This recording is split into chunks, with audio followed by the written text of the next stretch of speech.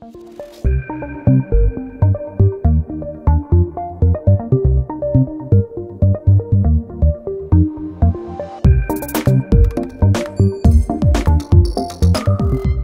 name is Muireann Ryan and I'm an electrical engineer with ESB Networks. I'm working with ESB International as an overhead line design engineer down in Cork.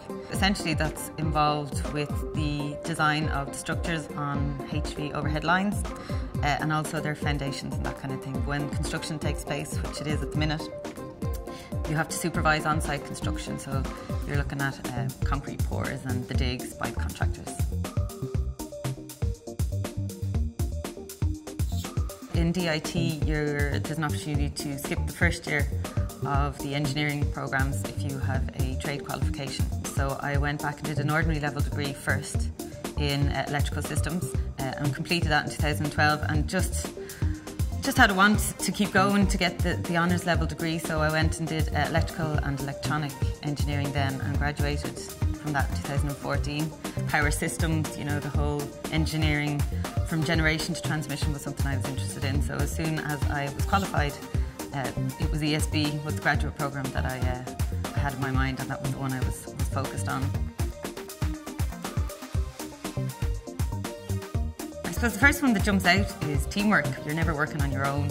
Uh, last year I would have worked a lot with the apprentices and the network technicians on site and their supervisors and basically you can have a mixed bag. There's a, there's a completely range, a different range of people you'll be working with every day and it's just being able to work together, uh, you know, to achieve your goal. That, that's important.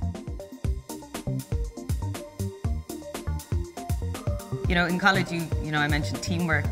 But certainly a good idea, and it's not something I did, would be put yourself forward as leader of that, that team project. I mean, I don't say you barrel in and just take over, and but you know, to put yourself forward, take your turn, grab your opportunity, and you know, having that practice uh, to, to be able to lead a group of people and to be able to get up and speak in front of a group of people and, and keep things organised, organised and motivated. That's certainly a great skill that you'll you'll need anywhere.